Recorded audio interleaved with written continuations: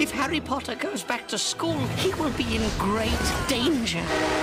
Warner Brothers Pictures presents the next chapter of Harry Potter, The Chamber of Secrets has been opened. where the past will return Scared Potter? You wish. and the struggle for the future of Hogwarts will begin.